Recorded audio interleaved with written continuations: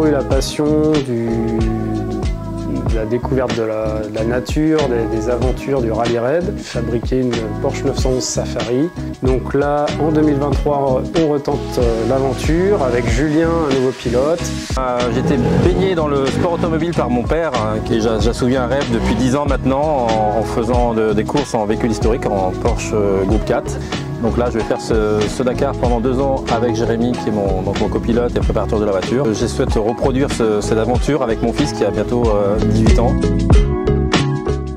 Comme je pense beaucoup de gens qui font cette épreuve, c'est en plus pour la première fois comme moi, c'est d'arriver au bout. Hein. Et donc voilà, euh, aucun objectif si ce n'est de, franchir cette arrivée et de, savourer euh, cette aventure.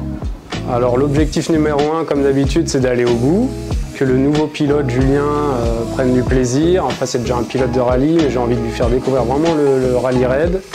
Et puis par rapport aux partenaires, mécatechniques et tout, le but c'est de faire une belle course où il y a des belles images et que la voiture fasse un bon résultat de tester la voiture un peu, de l'emmener dans ses retranchements pour que si quelque chose doit casser, il faut que ça casse pendant les essais et pas pendant la course. La voiture est un peu, euh, voilà, très compliquée à conduire, mais euh, je pense en tout cas avoir euh, compris son fonctionnement et, pouvoir l'emmener dans de bonnes conditions dans, le Dakar.